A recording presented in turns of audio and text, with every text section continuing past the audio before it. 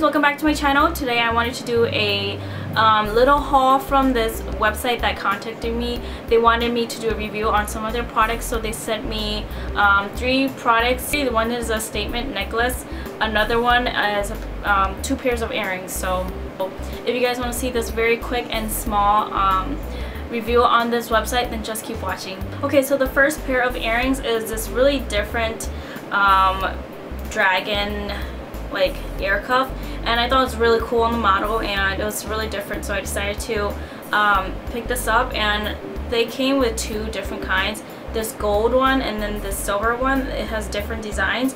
And um, I think one is for each ear but I think you only wear one at a time because I think it would be really weird wearing both of them at the time. But um, I think they're really cool and really edgy I guess. Um, if you're going for an edgy look this would be really awesome and the material is really really nice it's like a metal and um, it seems very sturdy and it, it hooks onto your ear it doesn't really bother my ear or anything like that so uh, I really recommend this and uh, again I will link all of these down below. Okay so the next pair of earrings, one of them actually came, well actually both of them were kind of like defected.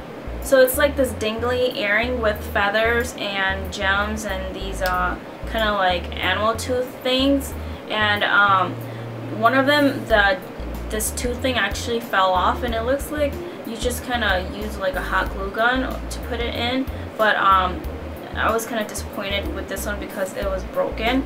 And then the other one it's hanging as well that tooth part so if I were just to touch it it would probably fall off. So this tooth part is also hanging and um, I found that this pair of earrings was the least uh, well made and it was kind of like bad quality but the rest of it I like it's just um, some parts of it came off and yeah I still think it's really cute maybe I'll just super glue it back together and then the last piece is this really beautiful gold and black statement necklace.